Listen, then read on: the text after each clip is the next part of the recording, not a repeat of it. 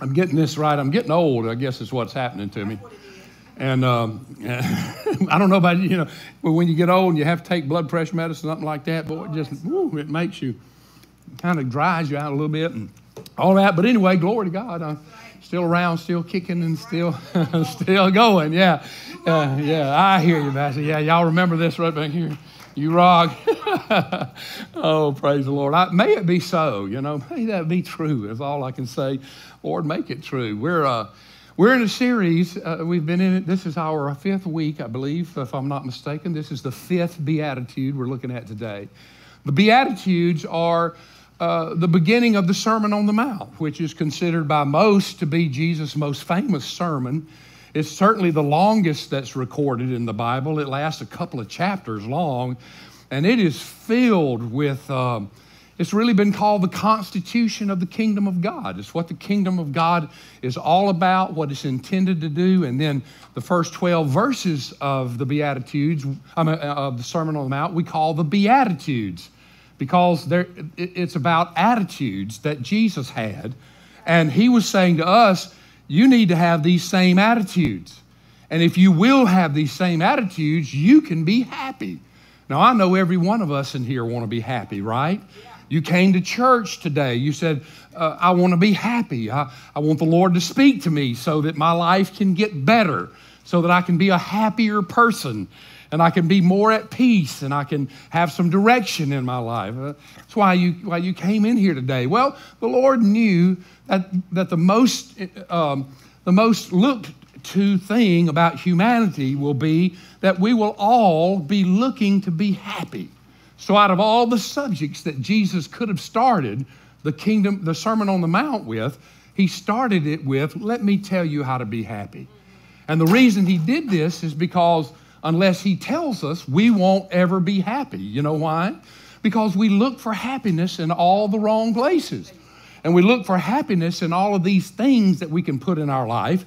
And Jesus is going to tell us it doesn't have anything to do with all of these things that you're after money, prestige, power, you know, uh, pleasure, all, all of these things. That's not what brings you happiness.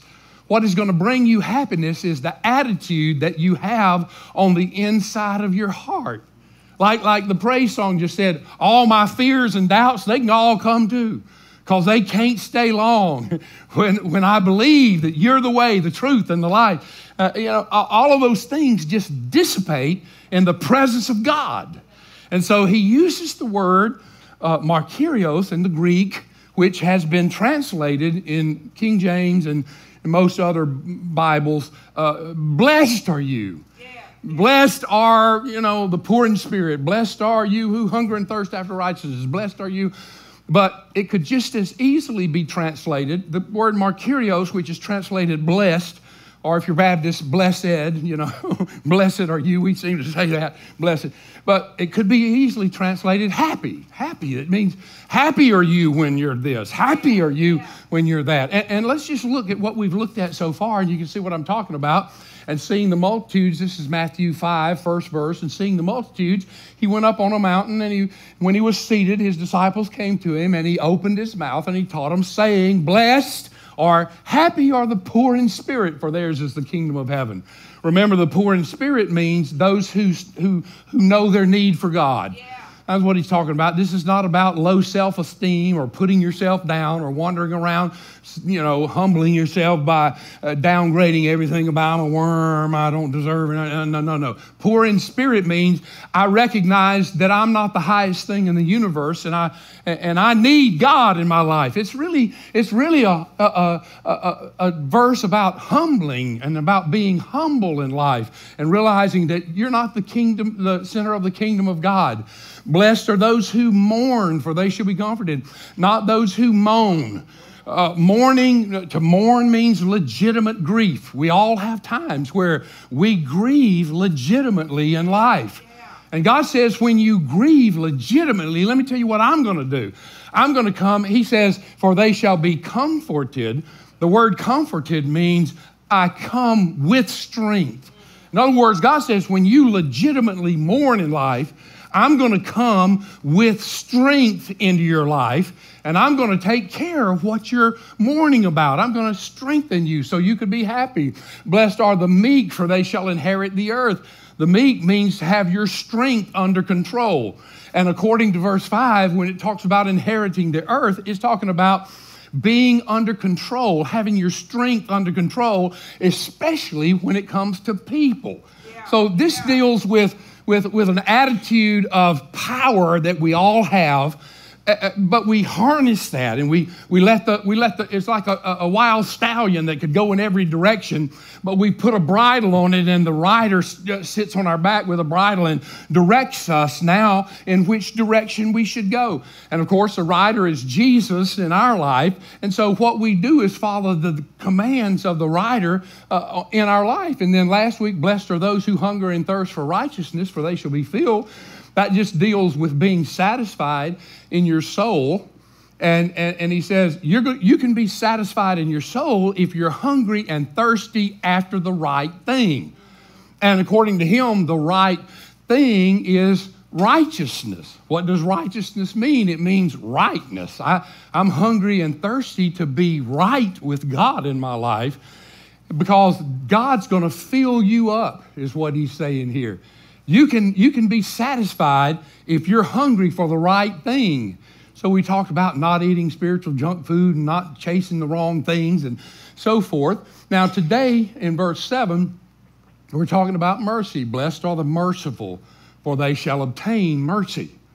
So obviously, this one is about um, about how to receive mercy in your life. How many of you think you need some mercy from God? Yeah, you need some mercy in your life. Well, let me just clue you in. If you don't think you need some, you really do need some mercy in your life. Uh, it's, it's just one of those things that all of us need. I don't know if you've noticed these, you may not have noticed it, but uh, four of these, there are eight of these Beatitudes, and four of them deal with our relationship with God pure in heart, um, mourn, uh, so far. Um, blessed are those who hunger and thirst after righteousness. Those deal with my relationship with God. And then blessed are the meek, you know, who are patient with people. And today, blessed are the merciful. Obviously, those Beatitudes deal with our relationship with others, fellow human beings. So, four of them are about God and four of them are about human beings. And so, today, is talking about our relationship with each other. And it says, Blessed are the merciful, for they shall obtain mercy. Uh, one thing about being older in life, and, I, Pastor Tanya and I were talking about this yesterday, we, we talk about it sometimes. Uh, when, when you preach or when you teach, uh, you, you know, you draw from your experiences. And of course, being uh, 64 years old, almost right at it. I, I, draw from things I heard all of my life and things that were put into me. And I know that sometimes puts me a little bit out of touch with some of you younger people because I reference things that you go, what is he talking about?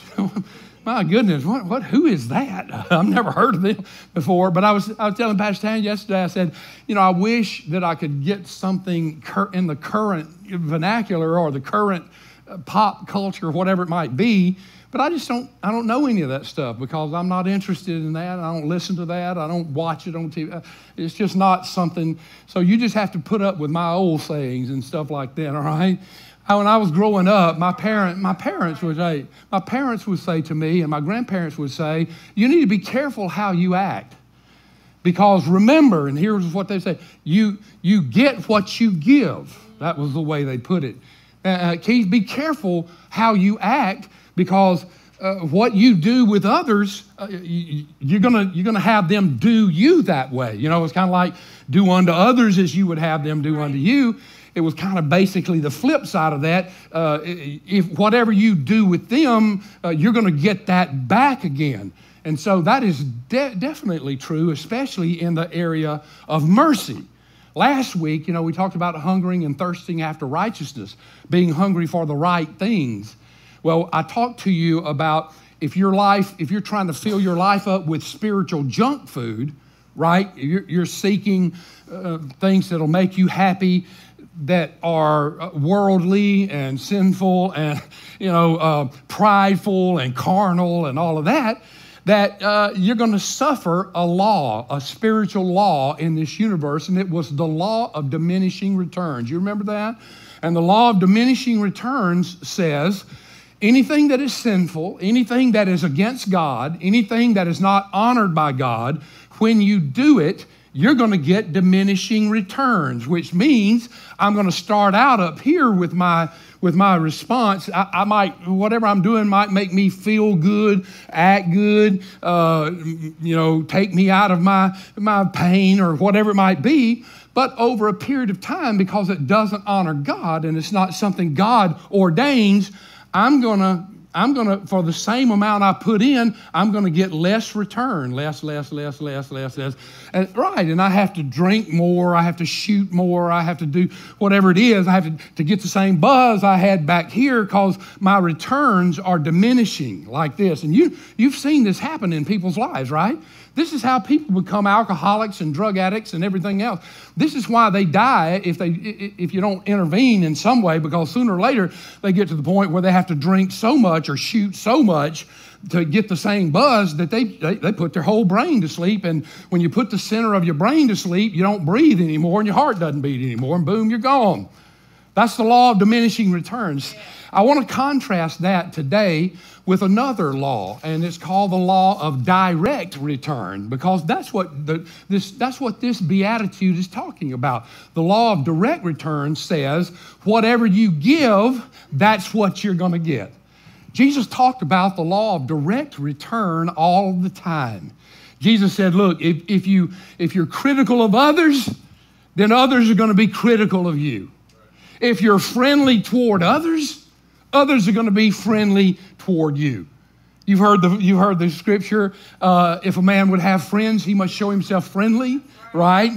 Yeah, you've heard that mentioned at funerals and so forth, and, and everybody there says, Boy, this person was so great, and I, I love him to death. Well, why can they say that? Well, it was because he was friendly toward them, and they're friendly in return. See, that's direct return. Today, in this beatitude, Jesus says, If you are merciful toward others, then others are going to be merciful toward you. So it's a direct return. So here, so the point of this is if I want to be happy, I'm going to have to treat people right. And what is right? Well, according to what Jesus says here, treating them right means treating them with mercy. So, what is mercy? Well, mercy is, is compassion, or maybe another word, pity, shown toward uh, an, an offender somebody who has offended you, or uh, an enemy. So when I have compassion or I have pity towards someone who has offended me, or someone who is uh, fighting against me or, or, or, or, or is my enemy in some way, that is merciful. Mercy is one of the major attributes of God, by the way. And aren't we glad mercy is one of the major attributes of God? That God is merciful. Look at, look at Psalm 145. This just lists two or three things that are characteristics of God. Look at what David said The Lord is gracious. That means he's full of grace. Grace gives us something we don't deserve, remember? We don't deserve to go to heaven when we die, do we? Because Romans 6:23 says, "For all have sinned and come short of the glory of God. For the wages of sin is death, but the gift of God is eternal life through Jesus Christ our Lord. Grace gives me heaven when I die, and I don't deserve heaven. My wages, what I've wages are what you get paid for the work that you do.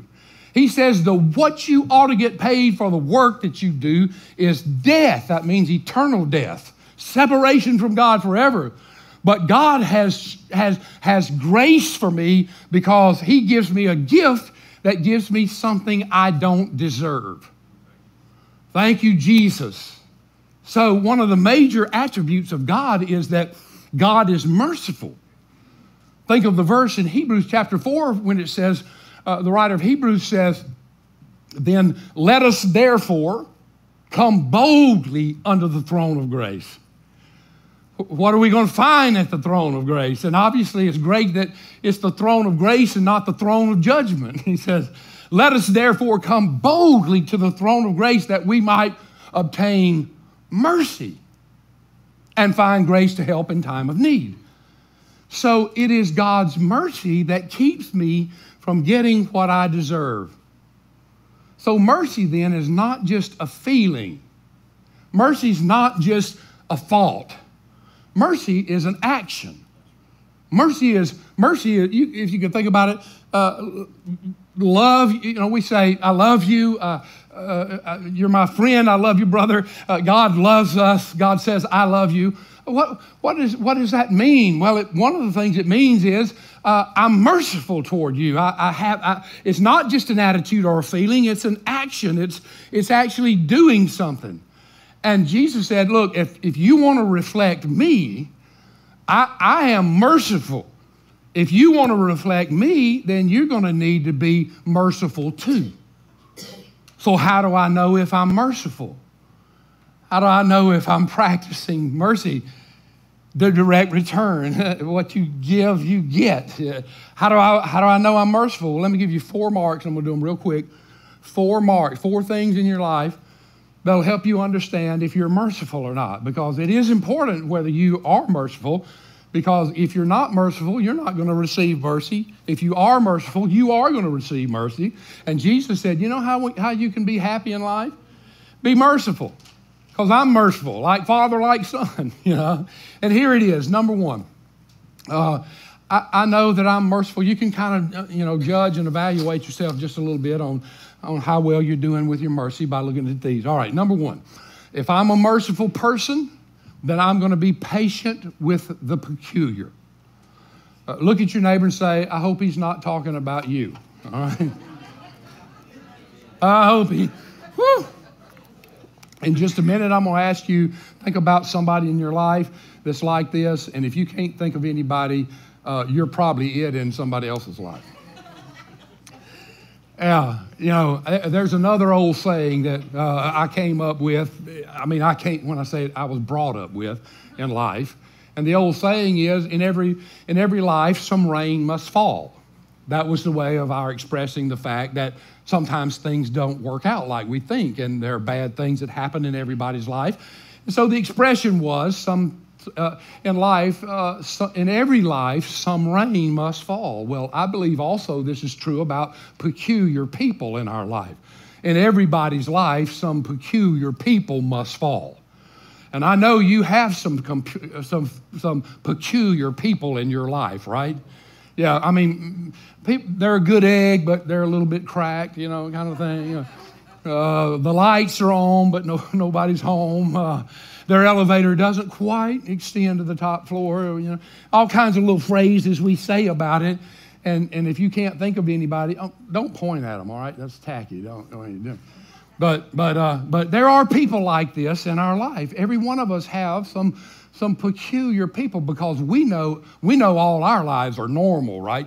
We're all, we're all normal, so there are some peculiar people that come into your life. Well, I'm just saying that all of these peculiar people give you a chance to be merciful in your life. And when somebody's peculiar in your life, that's an opportunity for you to be like God. What does the Bible say that we're supposed to do with these peculiar people in our life?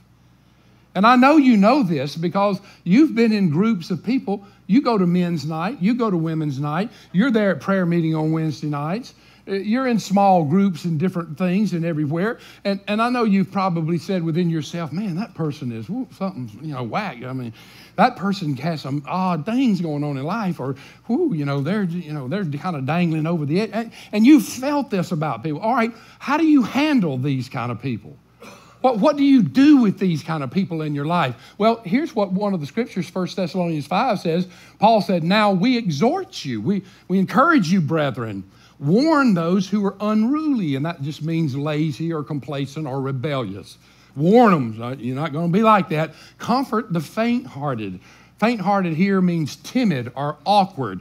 So we're supposed to comfort those who are, who are awkward, which is a good word for saying strange, right? Unusual, uh, uh, not socially adept. Uh, they, they, they, you know, they make you feel just a little bit uncomfortable. But we're supposed to comfort them, uphold the weak, and be patient with all.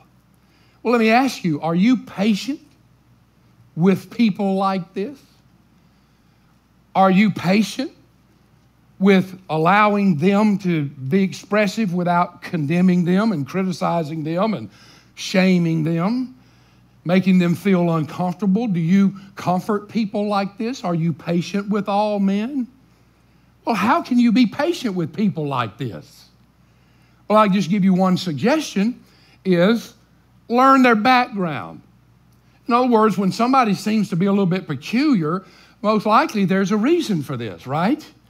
And if I will learn their background, just take a minute to learn. All right, this person's a little bit awkward. Let me just kind of get with them a little bit and let's let me hear their backstory. Let me let me hear what's going on. Hey, brother, what? Share this with me because I, there might be something that I need to know that will help me better understand you and be able to be used by God to minister to you rather than to condemn you.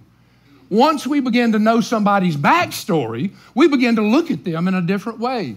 We, instead of looking at them and say, man, that brother has so far to go, we start looking at them and say, man, look how far they've come. We, we, we start looking and we, and we realize that behind their external awkwardness, that there's probably some pain underneath there. I mean, my goodness, uh, uh, peculiar behavior, behind peculiar behavior, there's, there's loneliness, there's depression, there's stress. Uh, maybe they uh, what is it, PSTD, uh, post traumatic PTSD.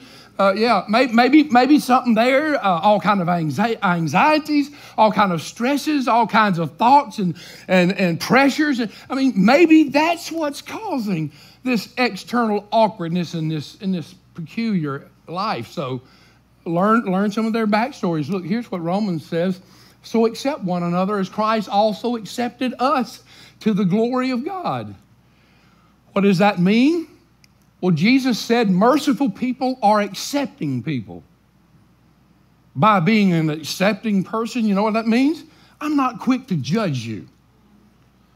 And Jesus said, Look, if you want to be like me, when you get peculiar people in your life, and this is one of the reasons why we have small groups, by the way, one of the reasons why we try to break down the congregation into smaller, little bite sized groups is so we can learn about each other, so that we have an opportunity to be accepting toward people in our life that are just a little bit unusual. And Jesus said, uh, uh, merciful people are accepting people and they're not quick to judge.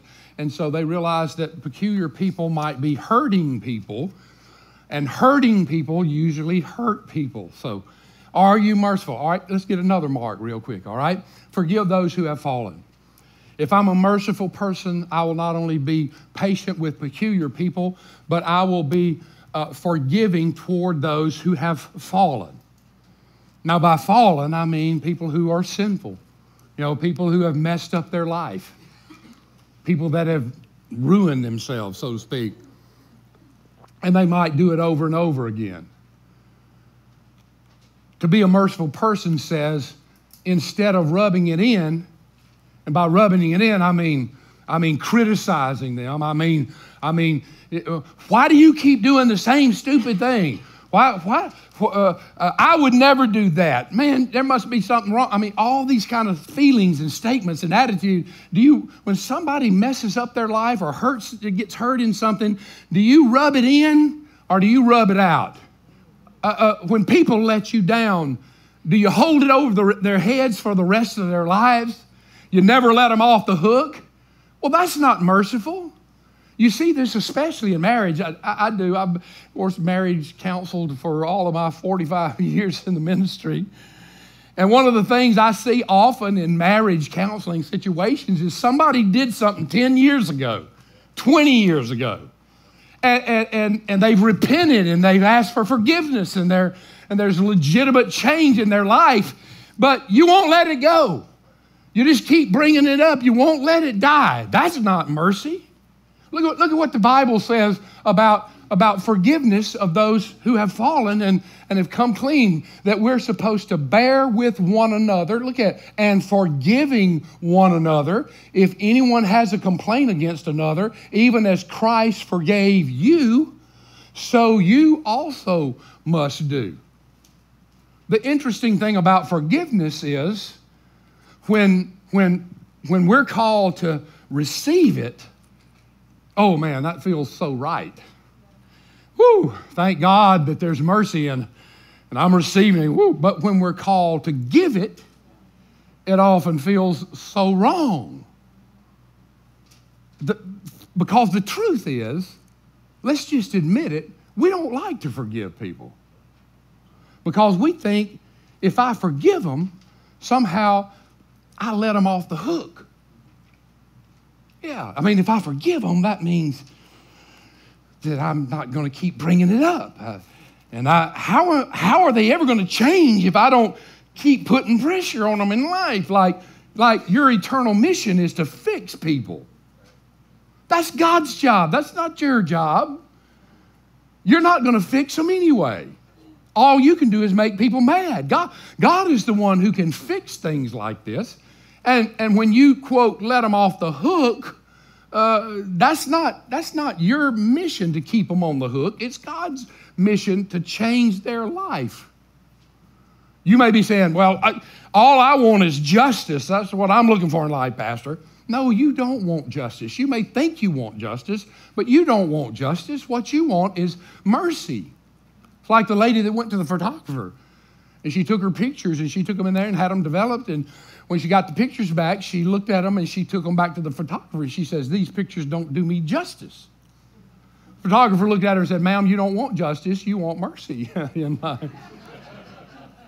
yeah, you may think you want justice, but may I say to you, no, no, no, you want mercy. And, and, and, and the, the fact is, if I'm merciful, I am going to give mercy to the fallen is so much easier to criticize and point a finger than it is to sympathize and hold someone up and move someone along. So, all right, if I'm merciful, how do I know I'm merciful? Well, I'm merciful when these peculiar people enter my life.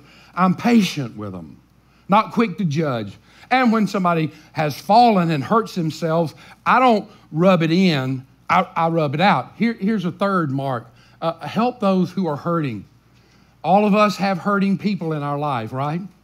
All of us have people in our lives that are going through things, that are having challenges in life, and, and they're, they're hurting. Look, look at this verse. This is Proverbs 3.27. It says, Do not withhold good from those to whom it is due, when it is in the power of your hand to do so. Now, this is just talking about practical assistance. This is talking about when you have an opportunity to bless someone, when it's in the power of your hand to bless someone, when they deserve it, you need to bless them. Don't withhold good things from people's lives when they have earned the goodness that you should show them. So, all, I'm saying is what this verse is about is talking about practical assistance. Well, a part of mercy is practical assistance. When people, uh, when people are hurting all around us, what God says to us is, as merciful person, uh, you need to open your eyes. And when you look at people that are hurting, just to sit there and feel sorry for them, well, that's not living like Christ. For me to, to pity them and to feel sorry for them and to, you know, say, oh, thank God that's not happening to me and, and I feel so sorry for you. But no, no, no. Uh, uh, to be merciful, according to what this verse says, is that we need to do something about whatever it is that's hurting them in life. When it's in the power of our hands to do it, now we can't always do it because it's not always in the power of our hands. Sometimes we can't do a thing about it. Sometimes we can only sympathize or empathize. But there are many times when we can inject ourselves into a situation, offer assistance, help those that are hurting. And Jesus said that's what mercy is all about. That's like Christ. Christ didn't just sit around and say, I'm sending you a note that says, I'm, I'm, I'm feeling for you in suffering times. Uh, Jesus did something about whatever he saw. And when we're like Jesus, that's what being merciful is. Look, look, look. This is a tough little couple of verses here. Boy, this is really convicting to me, actually. Terribly. Look at it in 1 John uh, 3 17. But whoever has this world's goods, I know you don't think you have very much, but you do have a lot more than you think, I guarantee you.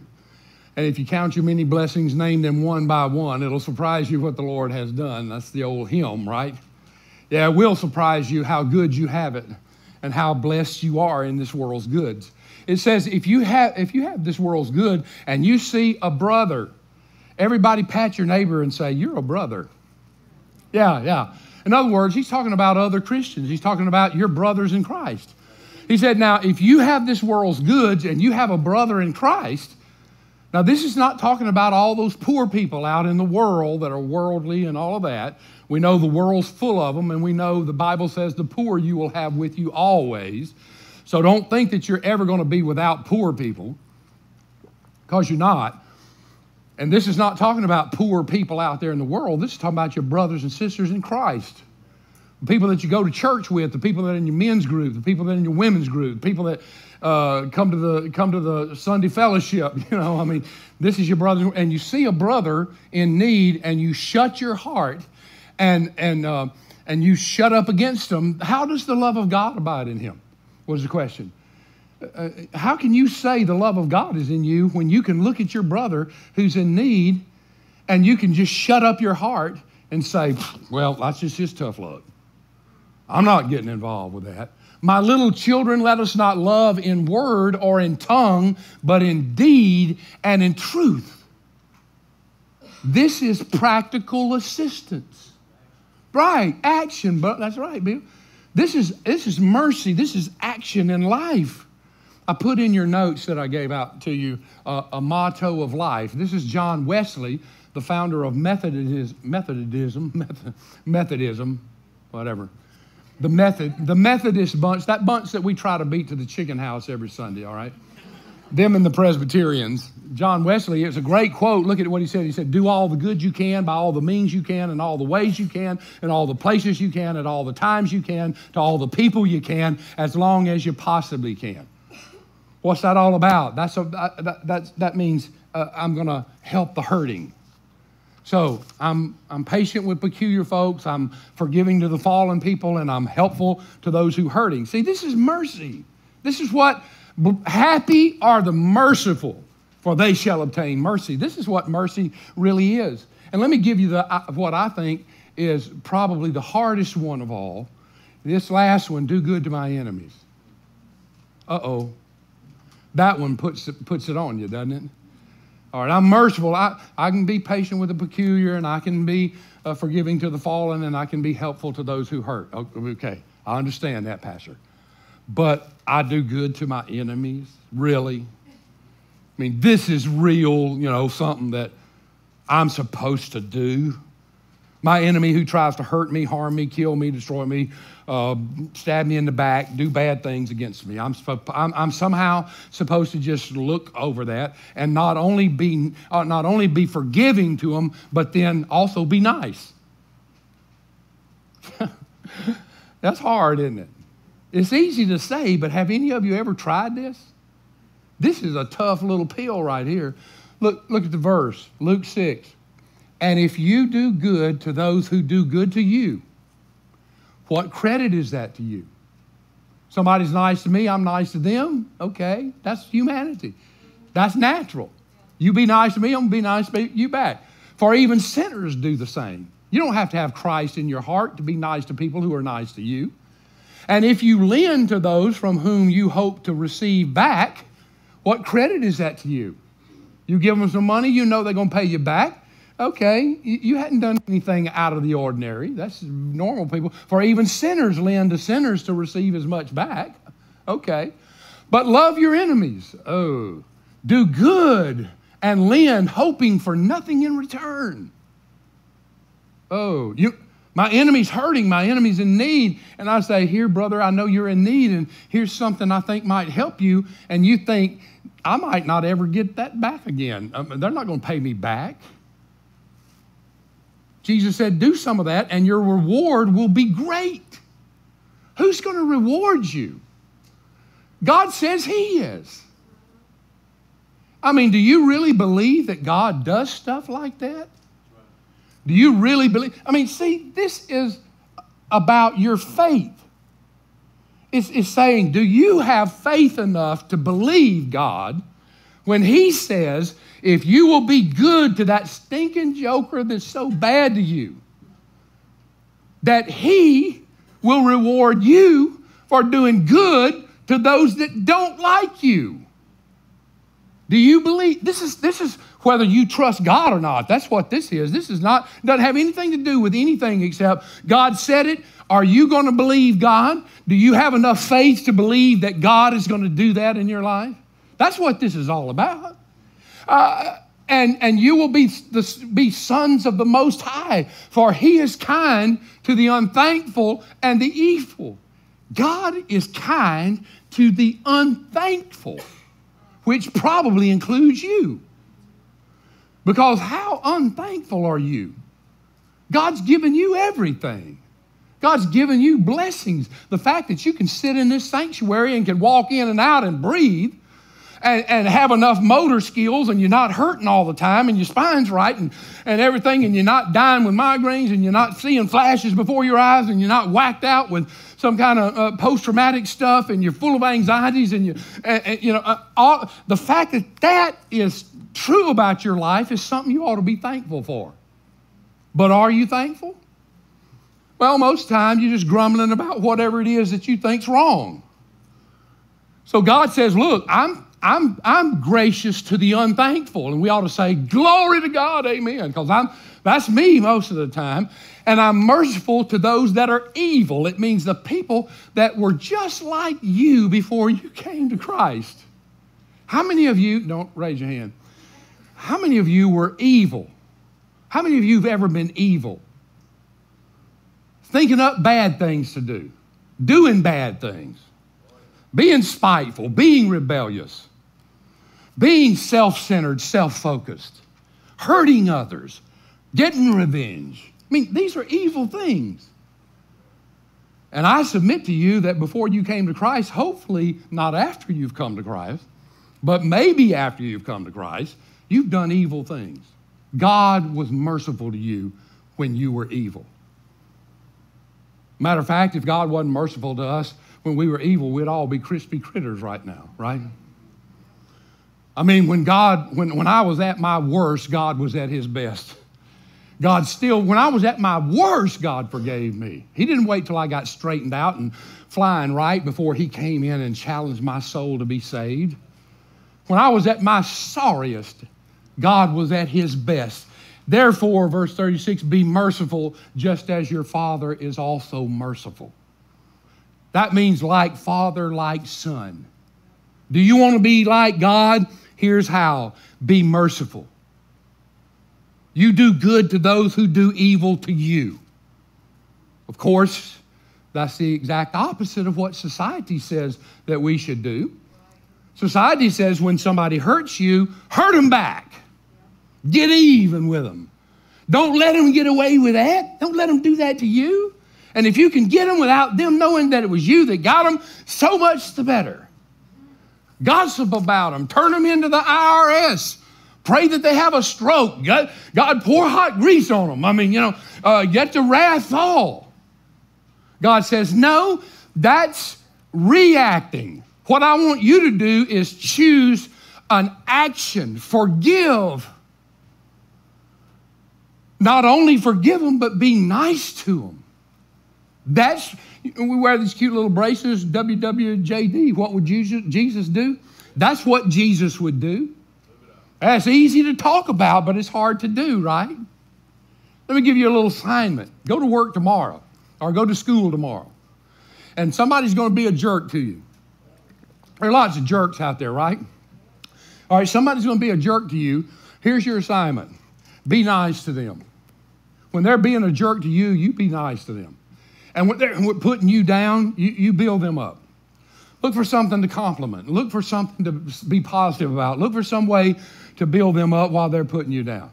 What will they think about this? They'll, they'll, they'll probably think, uh, come in earth, you know, Twilight Zone, what in the world's going on? You'll blow their mind in the first place because they won't know how to react to that. Because that's not the way the world thinks about thing, uh, uh, things. But, but, I, but, but when they respond bad, you just keep doing good with them, and, um, and, and, and they're not going to be able to handle it all together. So the question is, uh, why would I do this? Why, why, what, what, kind of assignment is this, Pastor? Well, uh, why should I do this? Well, because, and this is going to sound corny, it really is. It's going to sound corny as can be. But the best way to eliminate an enemy is to make a friend out of them. Now, I know that sounds corny, but what, what other choices do you have? You going to kill them? Is that what you're going to do? Are you, uh, are you going to guard your back for the rest of your life? Because you know they're going to come back time after time after time, try to stick a knife in your back, right? All right, so your choices are kill them, or guard your back for the rest of your life, or let's try to turn this thing around and, and instead of them being my enemy, let's see if I can develop them into a friend. And when I respond this way, I quit being a reactor, I quit being on defense and I start being on offense. And that's like God. So, being patient with people who are peculiar, which we all have in our life, forgiving those that have fallen, helping those that are hurting, and doing good to my enemies, those are all marks of mercy in my life. How, how, good, how good did you do? Did you do good with it? How merciful are you? uh, how full of mercy. Because remember, he said, if you give it, you get it. If you don't give it, you don't get it, right? And all of us need mercy. All right, these are, this is really terrible uh, and it's hard to do, so I'm going to need powerful motivators in my life to motivate me to do this, right? All right, uh, let me give it, and y'all, I, I know what time it is. Let me just give you these real quick. All right, number one, why should I do this? Number one, because God has shown mercy to me. All right, you say, why should I be merciful? Well, it's because God has shown mercy to me. And He's shown a lot of mercy to me. And God said, Look, I, am going to, one of the reasons why you ought to be uh, merciful to others is because I have been merciful to you. You remember in the book of John, chapter 8, there was a woman who was caught in adultery and they brought her out to Jesus out there in the public, and, and they said to Jesus, they said, Look, we caught this woman in the very act of adultery, and you know what the law says? The law says, Jesus, that you're supposed, we're supposed to stone her to death. And Jesus said, You know, you're right about that. And I'll tell you what, let's do this.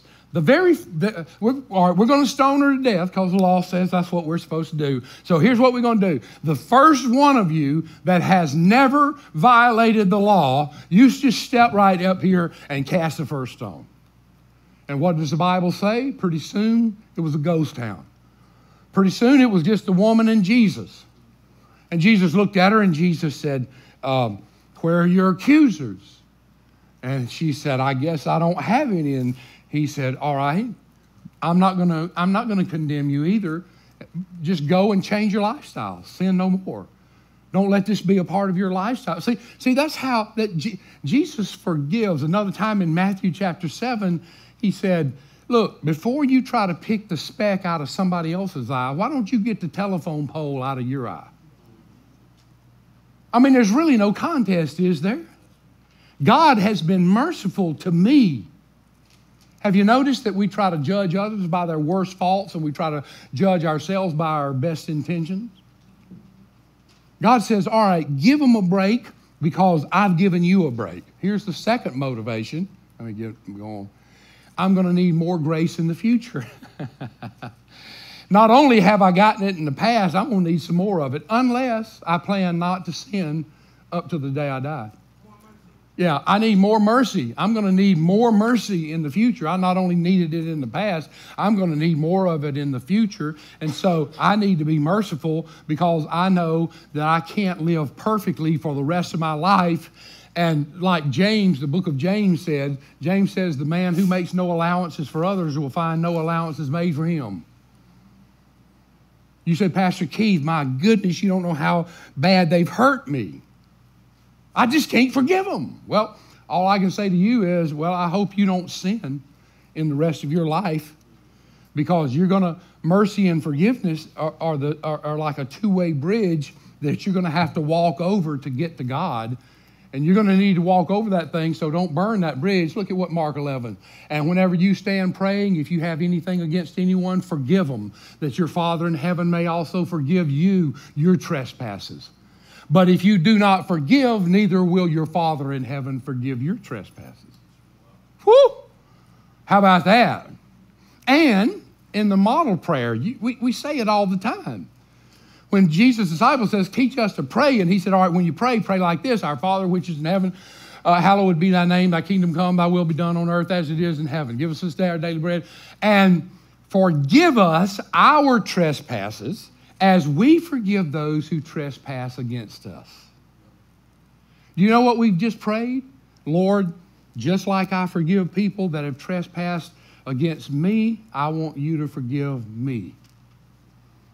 So, unless you plan to be perfect for the rest of your life, you're going to need some more mercy in the future. And God said, if you give it, you get it. If you don't give it, you don't get it.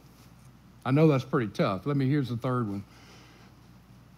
I should be merciful because it makes me happy. Yeah. I mean, the Beatitude says uh, you want to be happy, then you're going to need to be merciful. Blessed are the merciful, for they shall obtain mercy. That means, blessed are those you want to be happy, you're going to have to give mercy, because the opposite of that is true. Also, if you give mercy, you're going to be happy. If you don't give mercy, you're going to be unhappy. And you know what I found in life? The most unhappy people that I find in life are those people that are resentful and those people that are, that are holding a grudge against people and those people that are uh, allowing others to think to, to, control their thoughts by uh, encouraging me to not let something go and how am I going to get them back and what am I going to do and if I could just get to them. Those are the most unhappy people in life.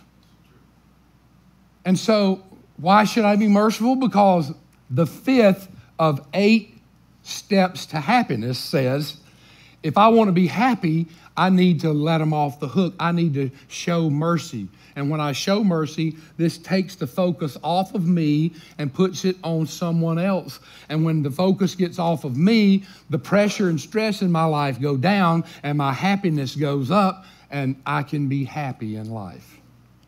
You know, there are a lot of people in life today that are depressed, you know, that, that have anxieties, and you're, some of you are on medication, and some of you have all kinds of ways of trying to handle stress, anxiety, depression, and all that kind of stuff. Let me give you just one little prescription that I've found in my life to be very helpful to me. And that is if I want to release some of that pressure off of my life, here's what I need to do I need to start being patient with people that are peculiar in my life. Don't be so quick on the trigger. Don't look at people's external awkwardness. Be patient with them. Start showing some forgiveness to people that haven't risen to your level of perfection. People mess up, people make mistakes. People do what they said they would never do. How, how about a little compassion? A little forgiveness? How about, how about quit, quit judging so quickly on things? And when you, people all around you are hurting, don't, don't shut up your heart against them. Look at them and, and, and see, is there something that I can do to be of help to them? They're hurting. This is a brother, this is a sister in the Lord. Can I take the focus off of me and look for somebody else to be a blessing to? That'll, that'll help that cloud of depression lift off of you.